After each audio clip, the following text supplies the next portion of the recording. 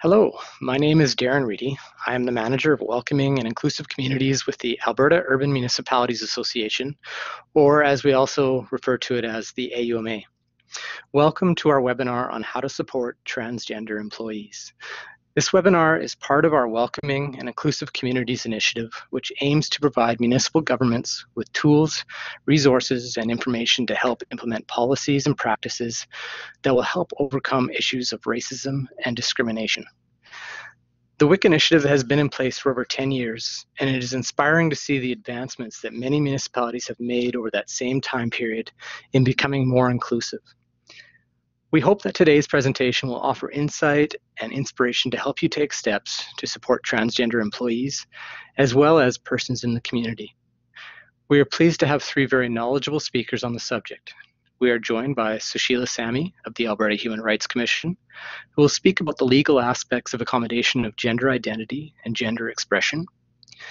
Natalie Nielsen of the City of Red Deer will speak about her experience transitioning while being employed with the city and Christy Soboda of the City of Red Deer will speak about how the city supported Natalie and the impact it has had on the organization. Now, before I introduce our first speaker, I want to highlight that we are hosting this webinar on October 11th in recognition of National Coming Out Day, which celebrates those that come out as lesbian, gay, bisexual, transgender, or queer. It is also meant to celebrate those that are allies of the LGBTQ community. Now, I would like to introduce our first speaker, Sushila Samy. Sushila is a diversity specialist for the Alberta Human Rights Commission. She is a chartered professional in human resources. She has extensive experience in human rights education, employment equity, and diversity training. She is a trained facilitator and public speaker and has developed and facilitated numerous workshops for government departments, educational institutions, and the corporate and not for profit sectors. Sushila has received awards and citations for her work in the human rights and diversity area. Most recently, in June 2017, her team received the Team Merit Award from Alberta Justice and Solicitor General for the Harassment Prevention series of webinars. Sushila, please go ahead with your presentation. Thank you, Darren. I want to thank AUMA for giving me the opportunity to present with the City of Red Deer. Hello, everyone who has joined us on this webinar. The Alberta Human Rights Act applies The Alberta Human Rights Act applies to all organizations that fall under provincial jurisdiction. The Act is administered by the Alberta Human Rights Commission. The Act is primacy legislation. What that means is that if there's any conflict between the Alberta Human Rights Act and any other provincial legislation, the Alberta Human Rights Act takes precedence. The Act speaks about the rights and responsibilities of all those who come under provincial jurisdiction. You may be interested to know that about 85% of all organizations in Alberta fall under provincial jurisdiction. For your information, in today's webinar, the human rights legislation that I will be referring to is the Alberta Human Rights Act. The commission, when referenced, is the Alberta Human Rights Commission. The Alberta Human Rights Act prohibits discrimination on 15 grounds that are listed on this slide. In today's presentation, we are going to focus on gender identity and gender expression. The Alberta Human Rights Act protects individuals from discrimination in the six areas shown on this slide. In today's presentation, we are going to focus on employment practices, which includes terms and conditions of employment. There are two prohibitions in the Act. One, the Act prohibits retaliation. An employer cannot take any negative action against an employee for making a complaint, trying to make a complaint, giving information about a complaint, or helping someone else make a complaint. For example, if an employee provides information as a witness in the investigation of a complaint, the employer cannot take any negative action against that employee. Two, the Act also prohibits individuals from making complaints with malicious intent that are frivolous, that is, it has no merit whatsoever, or vexatious, it is made only to harass others.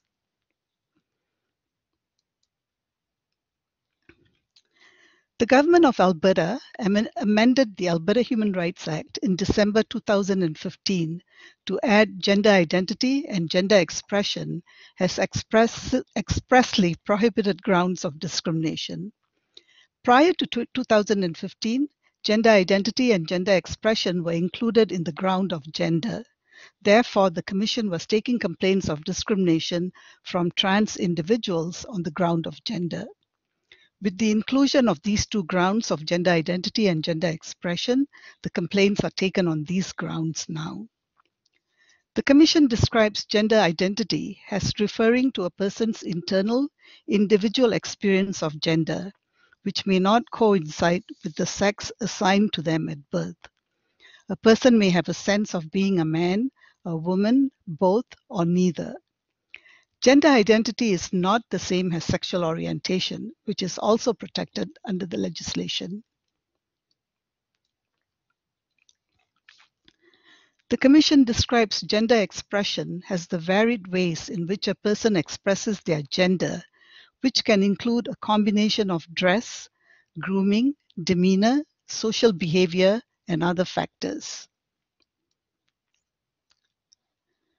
We often hear the term transgender or trans. This is an umbrella term for people whose gender identity or gender expression is different from those typically associated with the biological sex assigned to them at birth. Cisgender relates to someone whose sense of personal identity and gender corresponds with their sex at birth. That is, someone who is born female and identifies as female, or born as a male and identifies as male.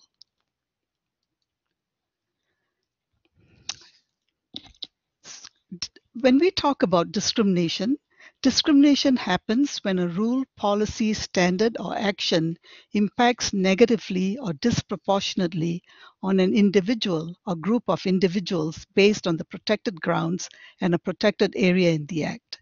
For example, an employer has a policy that only allows employees who have a disability to take medical leave. The employer denies medical leave to an employee who is transitioning and requires medical time off. In this case, the employer's policy has an adverse impact on the trans employee. The policy is discriminatory and needs to be changed to make it inclusive. Discrimination can happen in one or more grounds of the Act.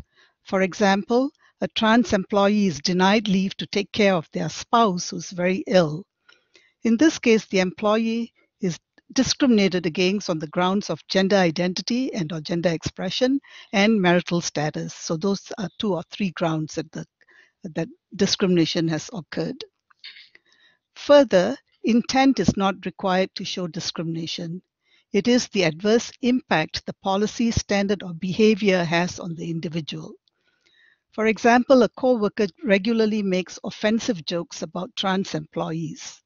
Even though the person making the joke may not intend to discriminate and may think it is harmless, it could be harassment and have a negative impact on employees in the workplace.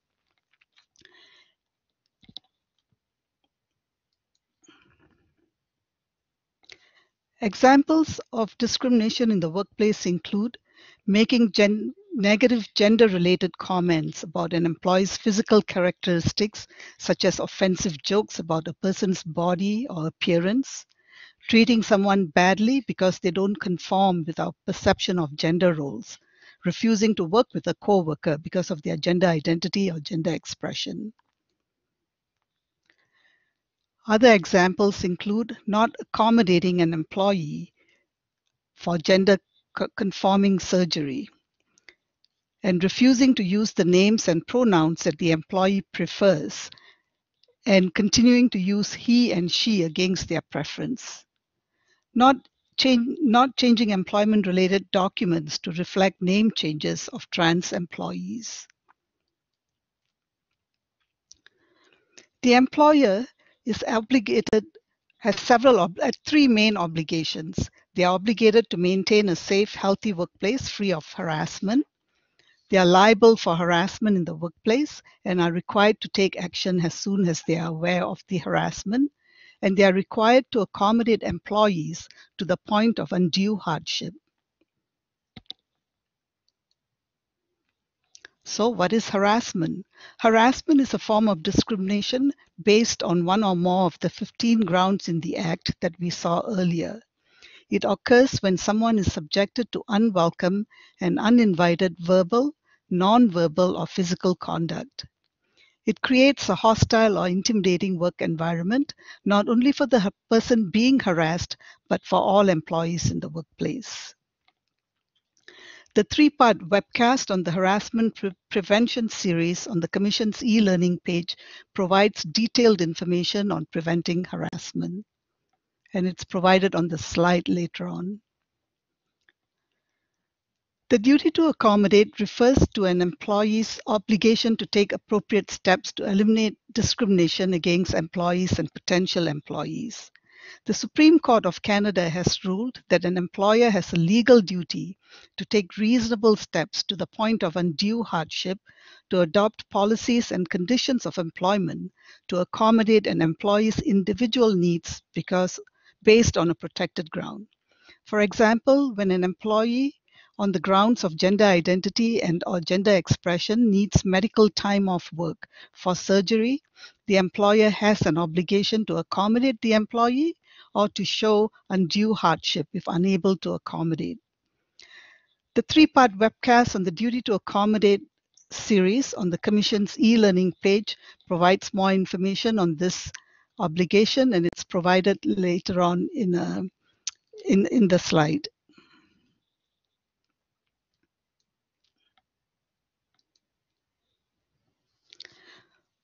Workplaces must be safe, inclusive environments for all employees, including trans employees.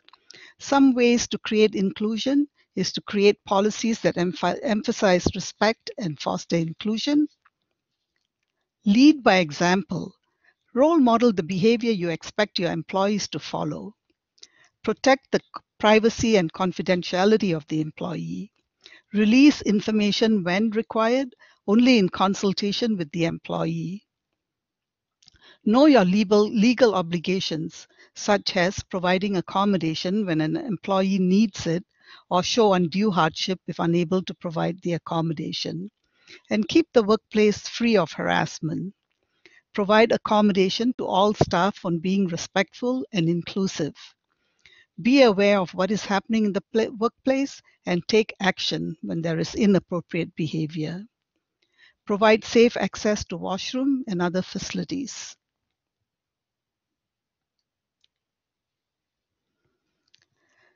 Collect personal information such as gender markers, Miss, Mr., Mrs., only if you need it, and use a person's preferred name and gender in all documents. Dress code policies should be based on work-related criteria and not on gender stereotypes. Medical information should only be required when an employee needs time off work for gender transition. Otherwise, medical information should not be required.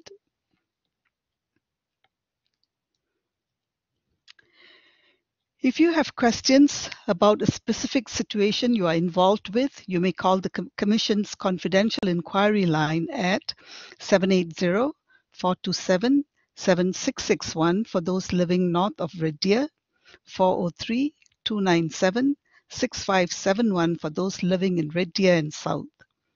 To call toll free, dial 310 0000 and area code and phone number to be connected. More, inf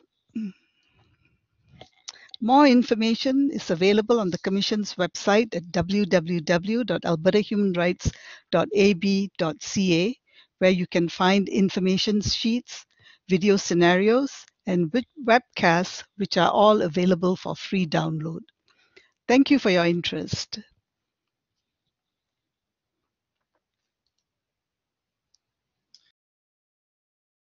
Thank you, Sushila. Our next speaker is Natalie Nielsen, who is an application systems analyst working in IT services for the City of Red Deer. She supports the City of Red Deer Council Chambers technology during council and budget meetings is the analyst and developer for the City of Red Deer Municipal Census, document management system, time entry system, agenda management system, and a range of other applications used within the city. More personally, Natalie is a self proclaimed foodie, a lover of geek culture, including both Star Wars and Star Trek, French bulldogs, video games, and sarcasm. She disconnects from the world of technology by going camping with her six year old son, riding ATVs, relaxing at a beach, playing a high score round of golf, or a low score game of bowling. Recently, she has become less of a stereotypical introvert, getting involved at the Central Alberta Pride Society, and actually talking to people about her life and experiences. Along with that comes the pleasure of feeling only slightly less awkward when people read her self glorifying introduction. And yes, she wrote this. Natalie, please proceed with your presentation. Hi, everybody. Can, can you hear me? Uh, so I'm just going to talk a little bit about my personal journey coming out here at the City of Red Deer and what I did when I came out. Uh, I think the majority of people like to believe that we're humans are simple and that if you see someone of one sex, then you automatically know all sorts of things about that person. You can put a label on them, throw them in a box with a bunch of other people, then label that box with more labels.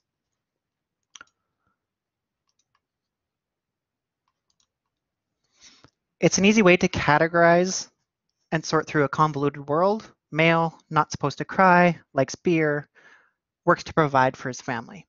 And when labels don't apply, people get confused and angry. Uh, when I saw that I didn't fit into the my assigned box with all of those labels, I got confused. Some trans people struggle with the physical aspect of their body.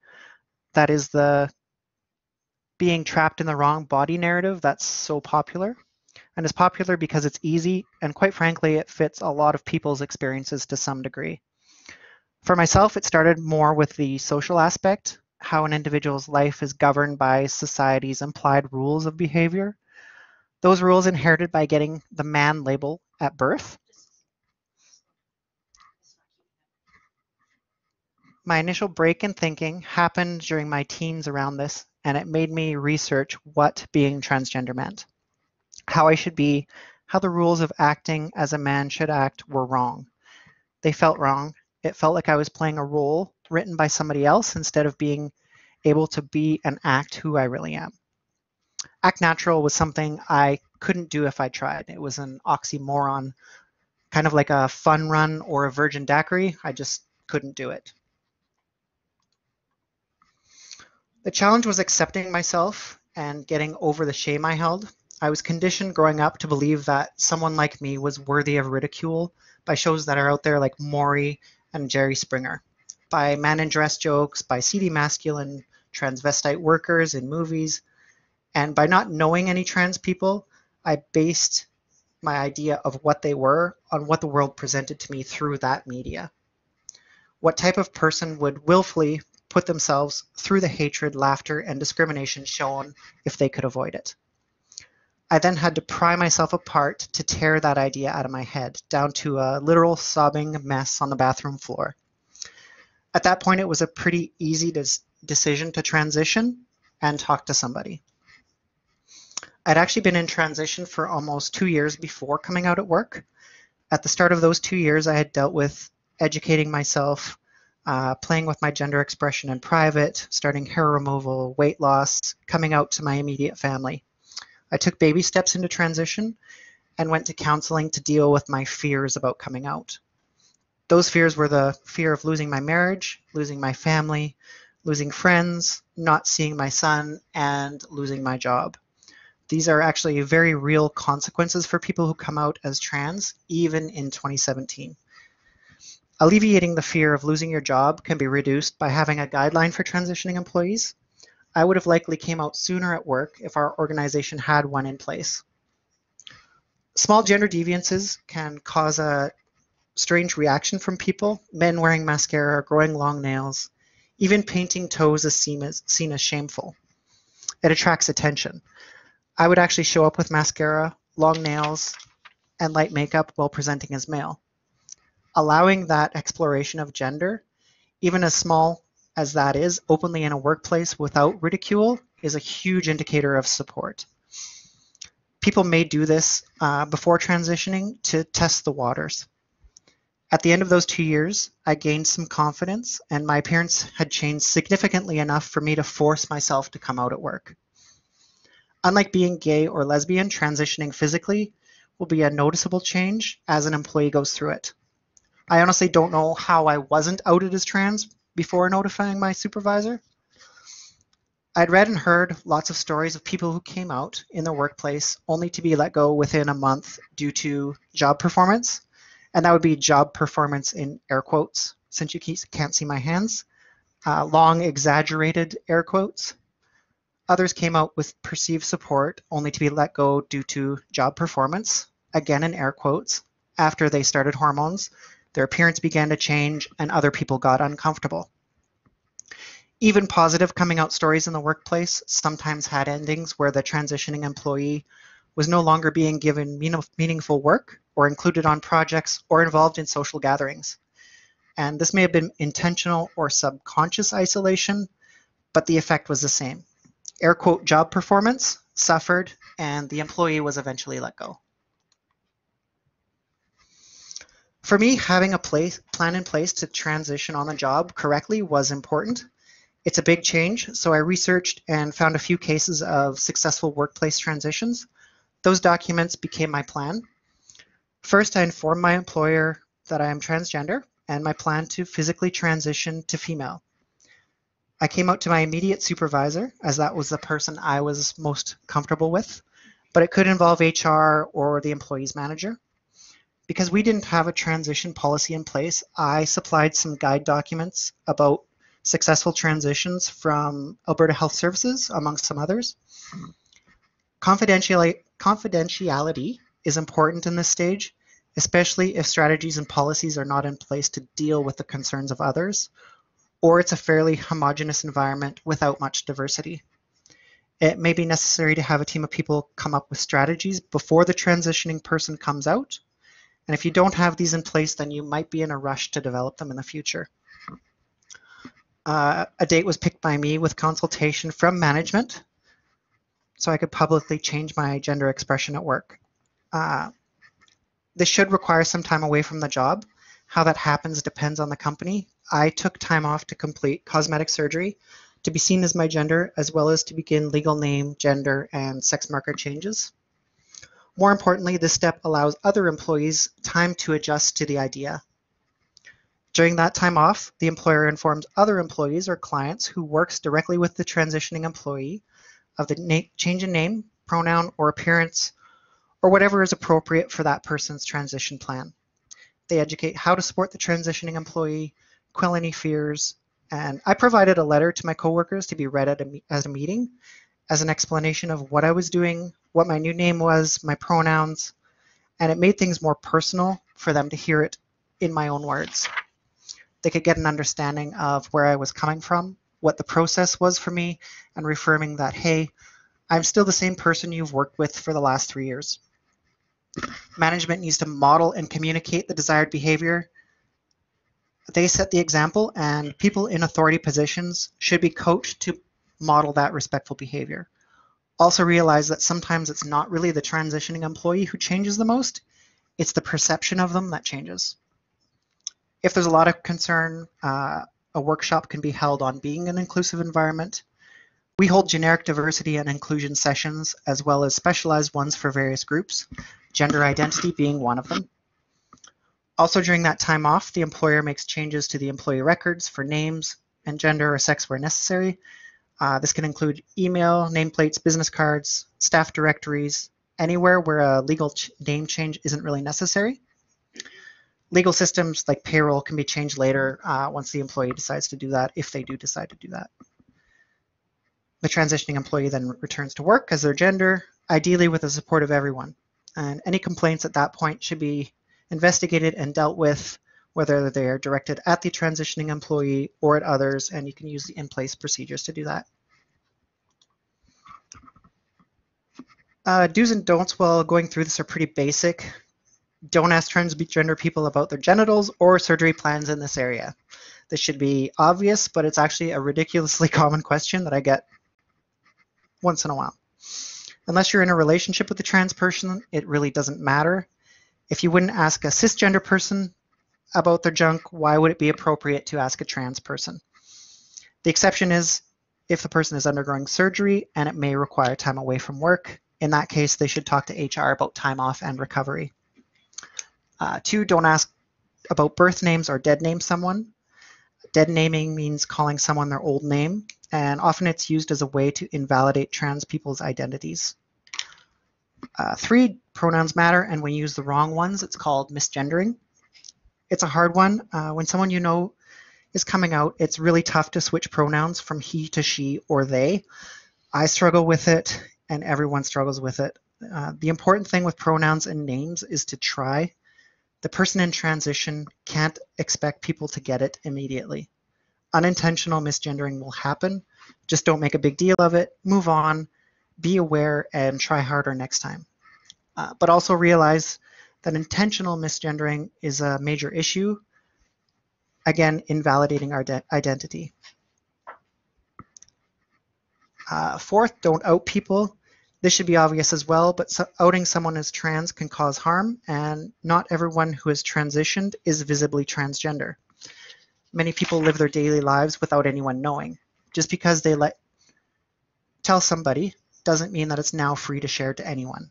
We don't live in a perfectly understanding world, and it can affect relationships with those people who are uncomfortable with someone like me. It can actually even be fatal. Uh, trans people are still murdered at a disproportionate rate, especially trans women of color. Five, actively involve them in discussions and social events. Transitioning can make some people feel out of place or prevent them from engaging as much as they used to. Be aware of some subconscious biased decisions, one that are out of employees' control but may impact their performance, things like work assignments, team assignments. Keep them busy. A wandering mind can be terrible to deal with, especially at the start of a transition, and during a time of fear in coming out. Be aware of other people's changing perceptions and actions. Everyone's tolerance level, tolerance level for misgendering, dead naming, and small things is different. For some people, it can impact their day and their performance. For others, it might not have any effect. It also helps to be aware that transition may mean something different for other people. For genderqueer individuals, it could mean changing their clothes, hair, mannerisms to become more natural to them, possibly changing their name or gender markers on ID. It could, could mean hormone therapy, changes in sex and gender markers, hair removal, new wardrobes, uh, surgery to change their body to match their gender. Uh, that can include mastectomy, breast augmentation, facial surgery, body contouring, and gender reassignment surgery. It's important to note that transition doesn't necessarily or always involve reassignment surgery. Many people choose not to undertake these for personal reasons and they just don't need to. Maybe they have medical reasons that they can't. Another reason somebody may choose a different transition path are finances. It can be expensive.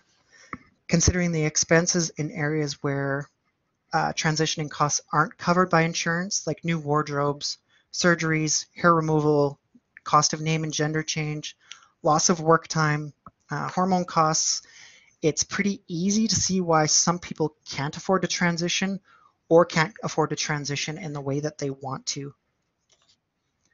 It's important to understand that as an employer with a transitioning employee, there are vast differences in transition goals, timelines, and the means they have to, to uh, achieve their desired outcome. So it means that just because his license says Ashley doesn't mean he's lying to you when he says his name is Jack. Insisting on calling a man a woman because of a body he's very uncomfortable with can be psychologically damaging. You don't know that person's situation. Maybe he can't afford hormones at this time. Maybe he has an unsupportive family and he feels unsafe to transition in other areas of his life. Every transition is different and can take different amounts of time. If a transitioning employee can't afford to remove a beard, which isn't covered by healthcare, she's still a woman. People in transition deserve all the courtesies normally directed to anyone in that gender, uh, even small courtesies. If you're a trans man, get used to people holding less people holding the door for you. And if we're really honest, trade that for some easier salary negotiations. Since transitioning, I have now been let off with, a, with two speeding ticket warnings. and I had never been let off with one before then. So there may be a bit of a police bias there towards women. Uh, I'm extremely lucky. There have been no negative account encounters with people at work, only uh, uninformed questions. So despite the barriers that come with transition, uh, mostly mental barriers, I'm glad that I did and I'm glad I did it later in life. The only negative outcome was the loss of my marriage and some social reshuffling. I'm lucky that I'm seen now as mostly a cisgender woman in public, and I don't really experience the glances, stares, whispers, and hate that some visibly trans or non-binary people face. Uh, I'm privileged to live in Canada where gendered identity is protect protected. I'm privileged to be employed in a union at the City of Red Deer. I'm privileged that I saved enough money to afford uh, everything I needed to transition to be who I wanted to be and see a face I want in the mirror when I wake up every morning. I'm privileged that my mom introduces me as her daughter. I'm privileged to have been able to come out at work and transition in a supportive environment and remain in a role where I'm effective to my employer, working with the same people for the last six years now. Uh, unfortunately, my story is not the type of story we usually hear about. Many people can't get a job because they're visibly trans or they don't fit into a gender box. Many people can't get jobs in their field of expertise due to being visibly trans, so they take lower paying work or service industry jobs. The sad statistic is between 35 and 50% of trans people have had suicidal thoughts. Family support, especially parents when transitioning, even later in life, drops that statistic in half. The ability to change documentation like birth certificates, driver's licenses, workplace documents contributes to quality of life as well. Those who experience low levels of misgendering, microaggressions, dead naming, and trans-based hate are even happier. Lastly, the ability to transition more closely to a desired state uh, improves the quality of life for the transitioning employee. Any help a workplace can give in these areas to support transitioning employees will improve the quality of life for those employees and pr promote employee retention. There's a lot of educating to be done, uh, but there's a lot more understanding now than even five years ago when I started all of this. And the number of people having questions and wanting to do the right now thing now is inspiring. Uh, with that, I'm going to turn it back over to Darren.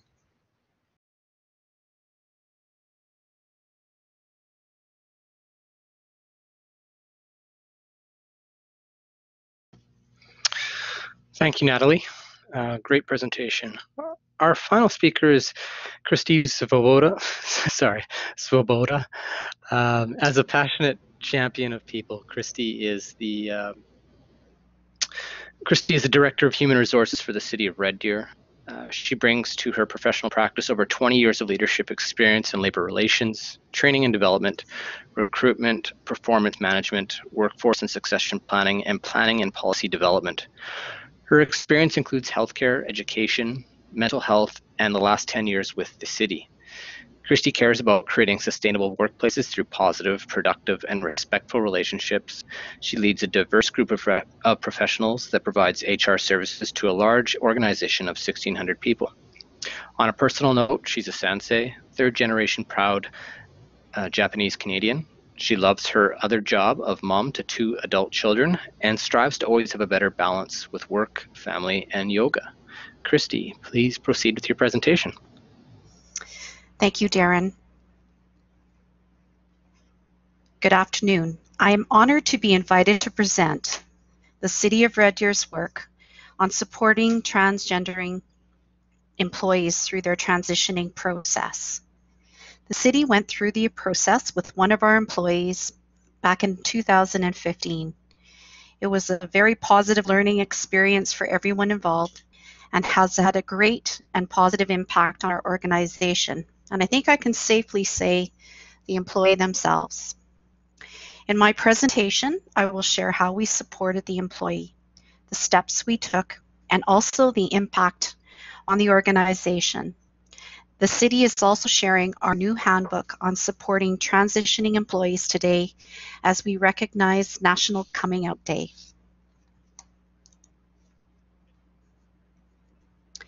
The process was a collaboration between the Human Resources Department, the Employees Department, and the employee. Everything that happened was driven by the employee as their wishes were the most important thing to consider. We were there to support the employee. We didn't, necess- we didn't necessarily know what that meant and left it to the employee to advise what their needs were.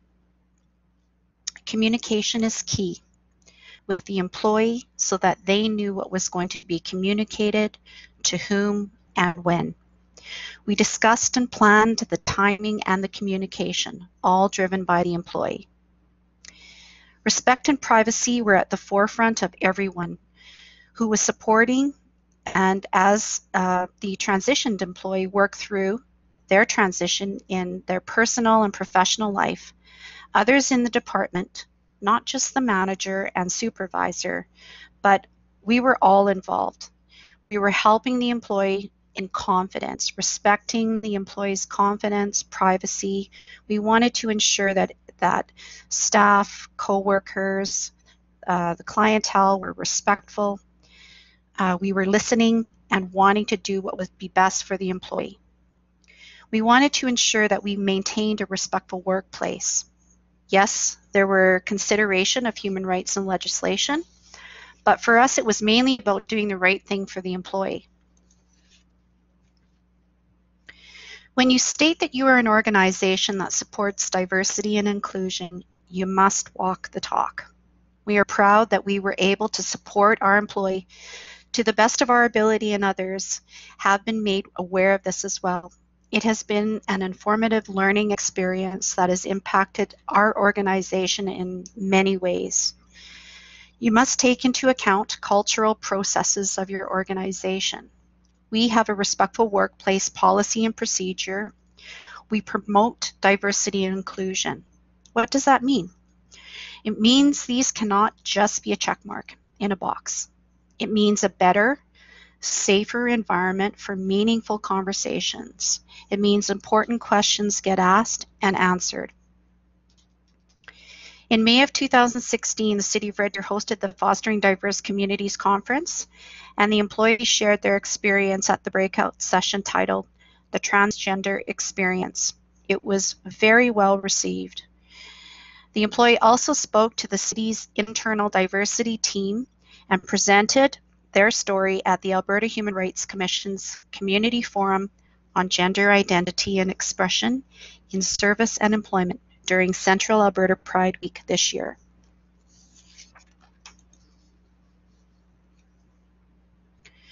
We have an internal diversity program and we also consult with the employee on um, language that we use in our census and also to ensure that we're um, being respectful and consider their perspective on gender neutral washroom signage. When we started working on the transition, there, uh, this transitioning uh, book, handbook, sorry, there wasn't a lot of information as well about the, and just from a human resources perspective in the industry, on supporting transgender employees. And we relied heavily upon a document that had been shared uh, with the employee by another transgender person who had gone through the process uh, with their employer. I think uh, Natalie referred to that uh, uh, Alberta Health Services employee. So we created our own handbook for supervisors and managers to support any future transitioning employees. It was developed from the shared document with suggestions from our employee. It includes steps to consider when supporting employees, appropriate coworker conduct, resources, it includes letter templates for communicating with staff and others, and also a glossary of terms. Privacy and confidentiality are also covered along with job-related planning, considerations like wash washroom usage and correct pronouns and names. From the human resources perspective, records considerations are also included. We're making our handbook available today to those who would like uh, to reference it or adapt it for your organization. To receive a copy, please contact Tamara Shikalski, our Diversity and Inclusion Specialist. And with that, I'm happy to answer any questions that you may have at this time.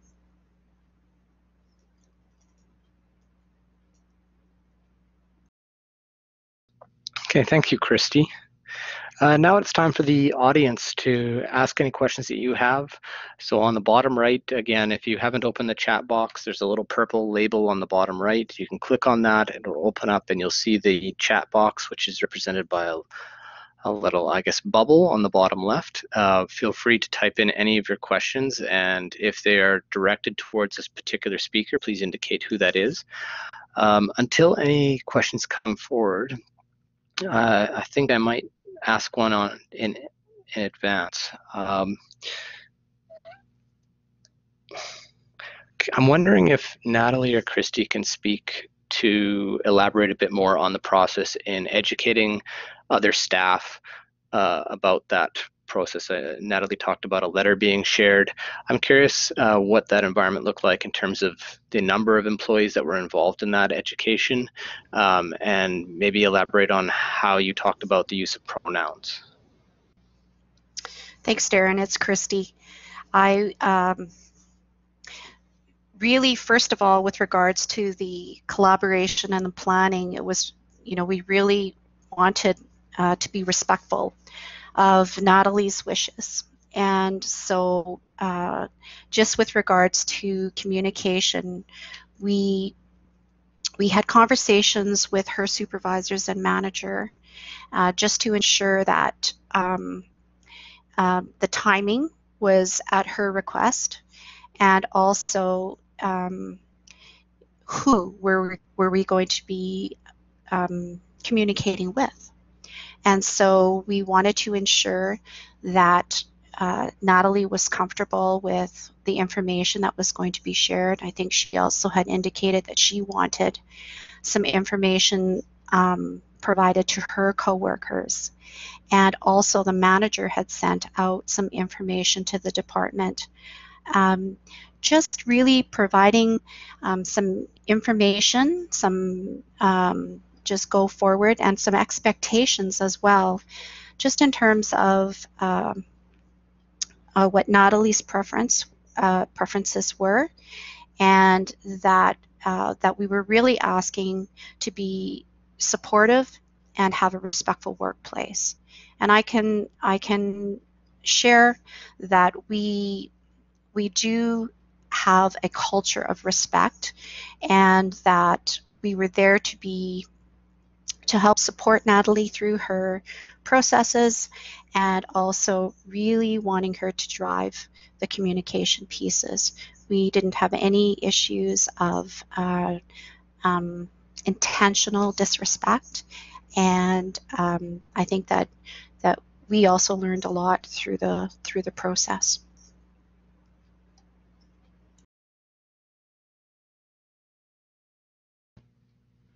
Okay, thank you. We have one question that's come in. Uh, it, it, states just a general question about whether either of the speakers have knowledge about how transgender surgery would be supported by benefits. Um, I'm not sure who wants to take this, but anybody feel free to step in.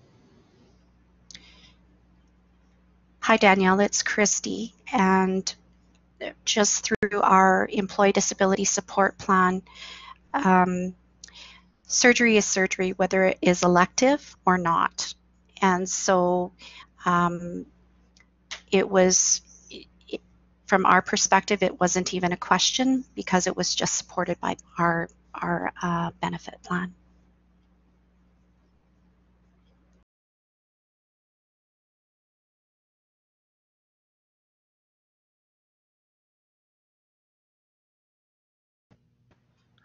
I can add a little bit onto that as well. Uh, living in Alberta, the only part of transitioning that is covered by Alberta Healthcare is gender reassignment surgery. So that actually leaves a lot of financial burden on the transitioning employee to cover themselves. Uh, and I'm grateful that I had the city of Red Deer here because uh, the, the surgery that I went through was called facial feminization surgery, which was the original one I went for and it is technically considered a cosmetic surgery.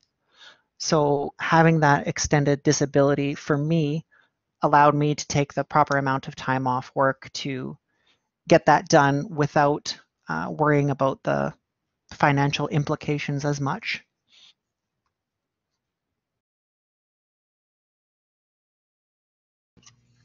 Thanks, Natalie and Christy. Uh, one of the questions that I received uh, by email prior to this was, are there any resources that municipalities can access around uh, explaining the value of gender neutral washrooms?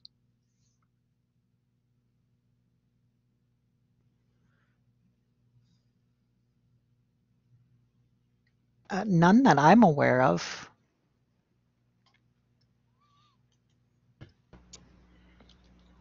There might be some. Is, oh, there we go. This is Sushila. Uh, we are at the Human Rights Commission because we are also trying to develop, have some gender neutral washrooms. Uh, we are just in the in the uh, process of developing some policies and guidelines about that so we can take that to talk to the building management, for example. So we are in the process.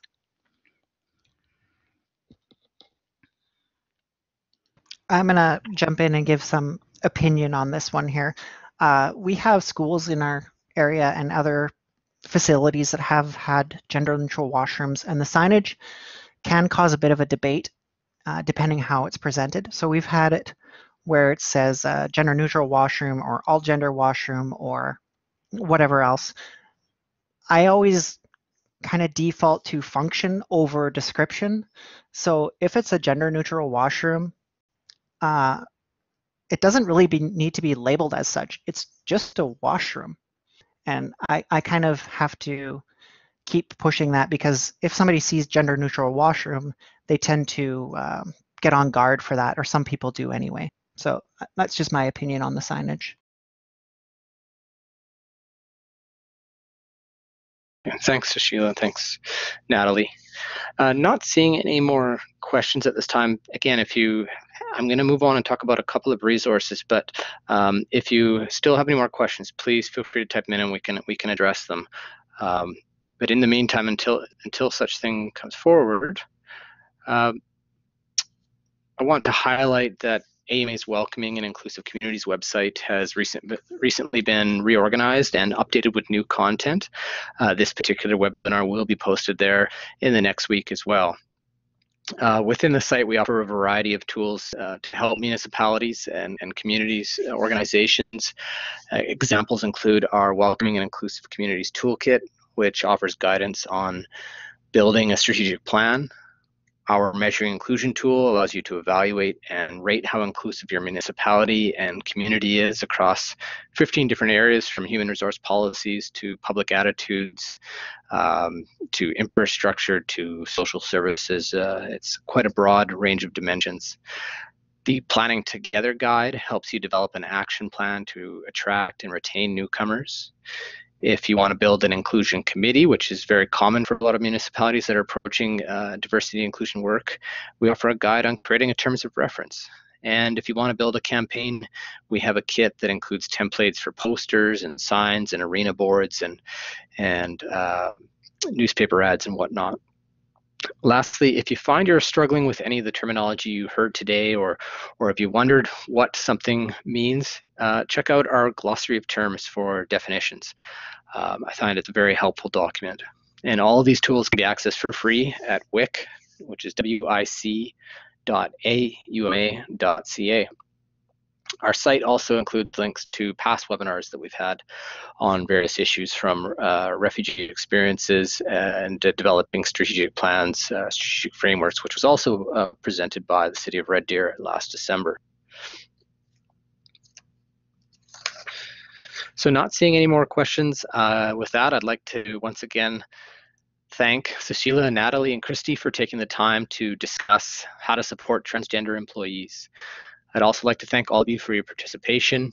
And if you have any more questions about this webinar or want to engage with our WIC initiative, please contact me at wic at auma.ca.